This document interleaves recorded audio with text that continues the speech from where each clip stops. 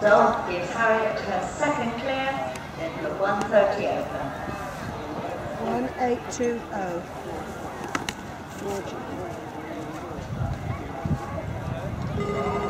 One eight two oh. zero. Oh. Georgina Bond riding her own Samarco.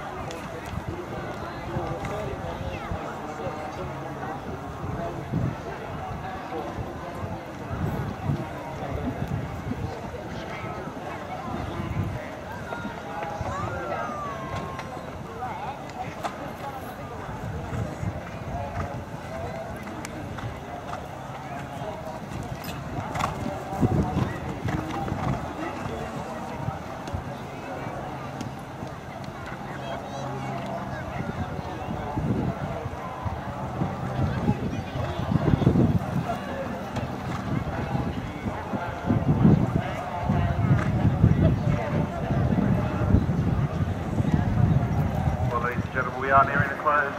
But it's choosing the reserves for the native, the reserves for the continental, and then we'll have the championships where I'll go head to head for the Supreme Interbreed Championship. Now, Judge,